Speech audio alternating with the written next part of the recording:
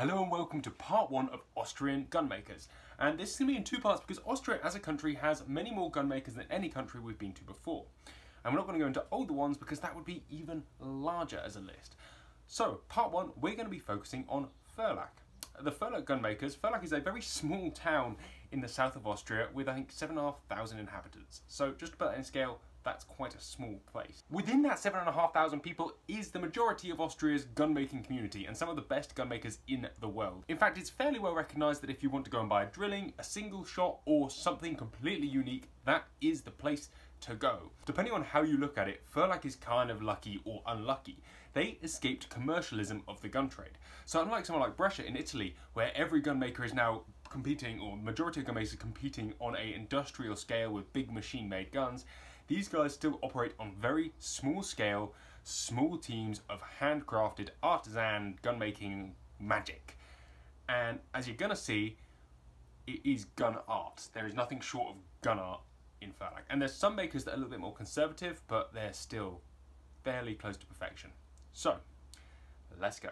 So let's kick off with one of my favourites, and that is Johan Fanzoj. And they have made a lot of beautiful guns, as everybody in this list of part one has. So it's unfair of me to say anything, but I'm going to make noises about them all that are probably inappropriate and I wish that I could say profane words to describe them because some of them are just so.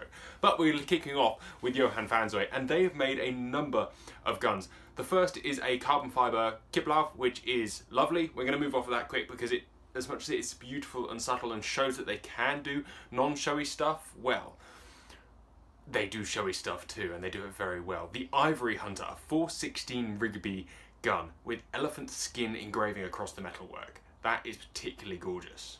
Next is the Great Migration, a 600 Nitro Express double rifle with spare 470 Nitro Express barrels. It is gorgeous. The gun is covered in African game and one particular lock plate that has the wildebeest growing across it is just obscene. And my final one from Fanzoj is Drakon, the dragon-inspired gun.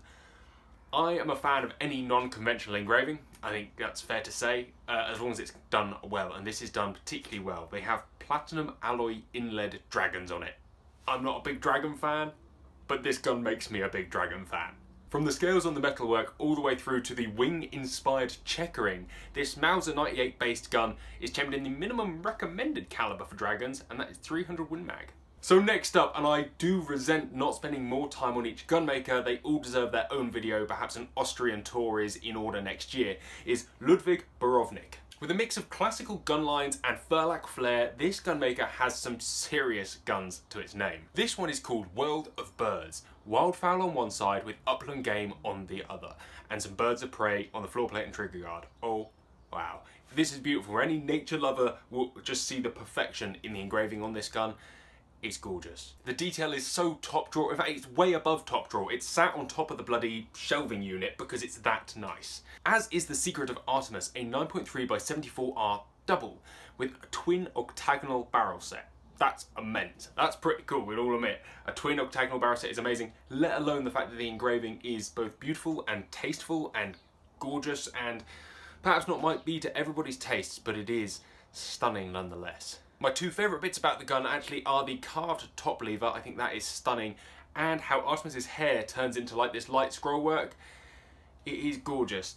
And as with all of these guns, you'll see little things that are done individual on these guns that have been taken by some of the bigger makers to inspire certain guns that they've made. And if you can spot any of them, chuck them below. They also do a bunch of bolt action repeating rifles that are gorgeous and some single shots, all of which deserve their own videos, but we gotta get this moving. Next is Jagdwaffen Scheiring. Scheiring guns are on another level now.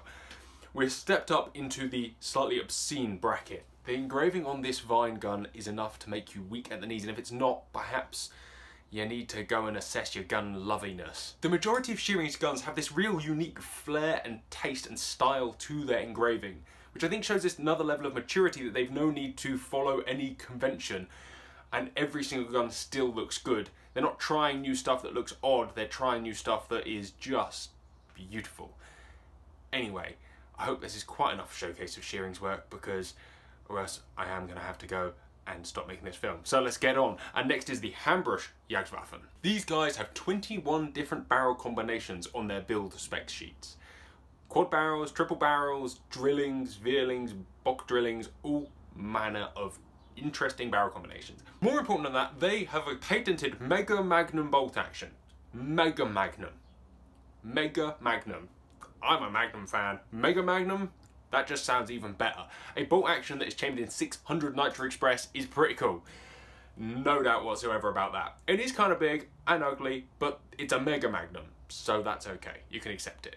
Next are a couple of makers that seem to have kind of gone off the radar. One is Johannes Outschar, offering an array of classic Ferlach designs. These guys produce some beautiful stuff. And the other is Jakob Koschat. Again, not sure if they're still in business, but they produce this little hammer gun, so even if they're not, you need to know of its existence. The geometry of the way that that lock hits up against the gun is just stunning. I like it. So there you go. Karl Hauptmann, what can we say about them apart from triple barrel shotgun and a side lever double rifle? Both of which are absolutely stunning. This company seems to like pioneering new ideas, from the fact they patented the first triple barrel rifle in 1994 to the fact they are one of the guys pioneering working with titanium barrels. That's awesome.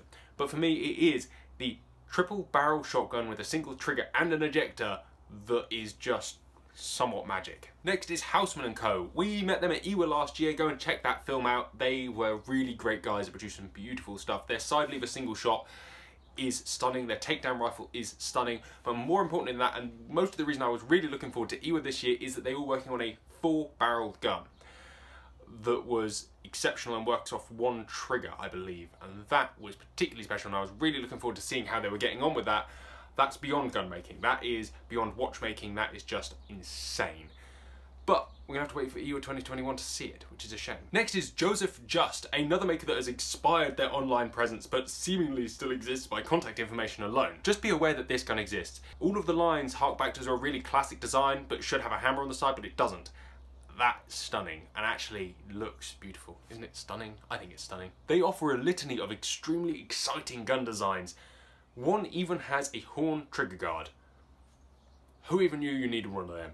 Now I do. The thing is, when you look at a lot of these Ferlach guns, you kind of think, why?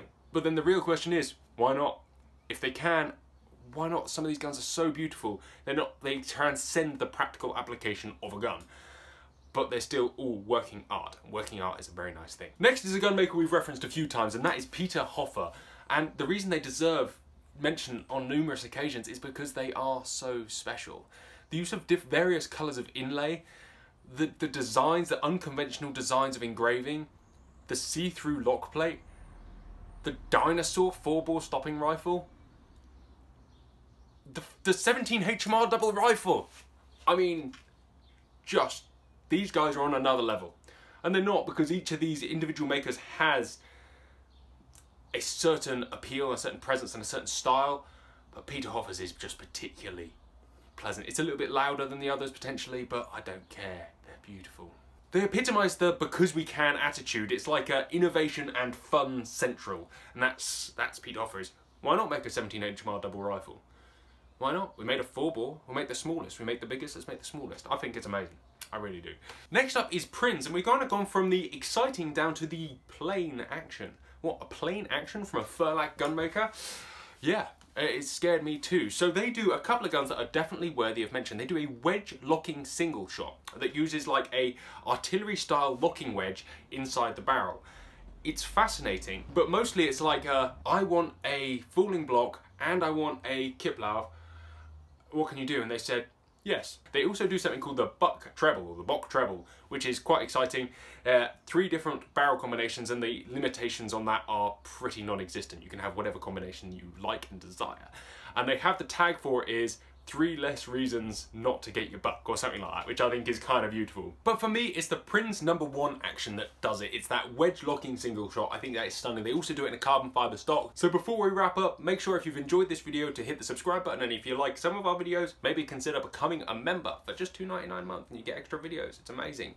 I'm going to talk about two makers that aren't from Ferlach in this video before part two of the video, which will go into the more commercial side. And they are from Graz, or as it should be called, Graz. This place is a lot bigger than Ferlach. There's nearly half a million people live in Graz. And there's two gun makers there that I'd like to share with you before I end this video. And they are Waffenstube Guggi. Oh, wow. What the other makers are to metalwork, these guys are to woodwork. I mean, they specialize in carving.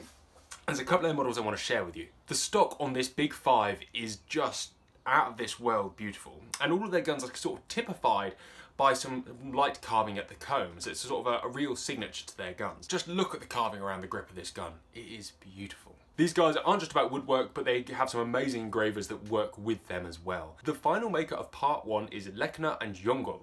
These guys have a more London-esque twist to them. They seem to be a little bit more conservative and a little bit more British in the way they present and make their guns. The subtle style is not exclusive and they do make some fairly flare-filled guns as well. For me, it's the hammer ejector shotgun that is just beautiful. I'm a huge fan of any hammer ejector, that kind of mixture of old and new, but this one is particularly gorgeous, I think you'll agree. They do double rifles with very beautiful engraving, and drillings, Bock drillings, and Trumpf drillings, some of which are built on round actions, which are just beautiful.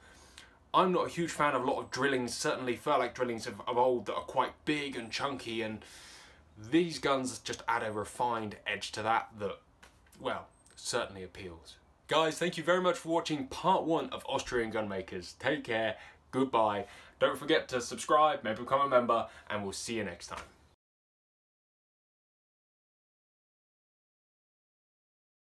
I want to insert some joke about DSC, the Dragon Stalking Certificate here, but it's probably inappropriate.